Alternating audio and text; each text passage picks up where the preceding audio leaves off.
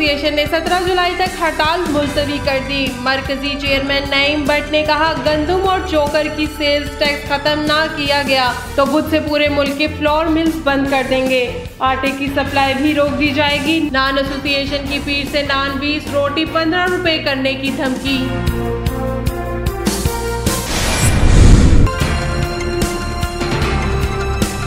احتساب عدالت میں آشانہ اقبال کیس کی سماعت شہباز شریف کی حاضری، معافی کی درخواست منظور۔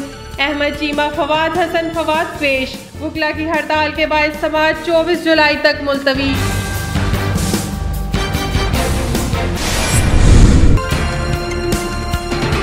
لاہور سمیت پنجاب کے مختلف علاقوں میں بارش، ٹھنڈی ہواؤں کے باعث موسم خوشگوار۔ مالا گنڈ مردان کو پشاور اور ڈی آئی خان میں بھی بارش کا امکان۔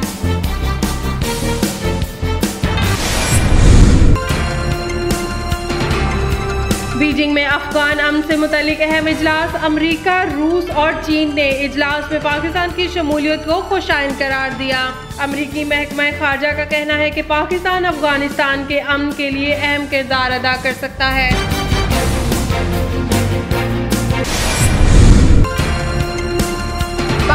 برطانوی باکسر عامر خان نے سعودی عرب میں بھی فتح کے جھنڈے گاڑ دیے۔ پہلی بار سپر باکسنگ لیگ کے بڑے مقابلے میں اسٹریلوی باکسر بلی ڈپ کو ناک آؤٹ کر دیا۔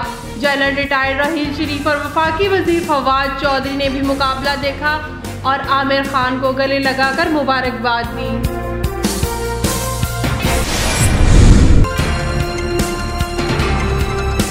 نئے ٹیکسیز اور مہنگائی کے خلاف تاجر تنظیمیں متحد۔ پاکستان بھر کے مختلف شہروں میں چھوٹے بڑے کاروبار بند۔ لاہور کے تاجر دو گروپوں میں تقسیم۔ پی ٹی آئی کے حامی تاجروں نے ہڑتال نہ کرنے کا اعلان کر دیا۔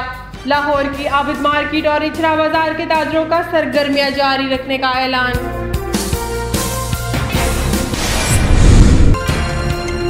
سکھ برادری کا پاکستان سے دوستی بڑھانے کا ایک اور قدم۔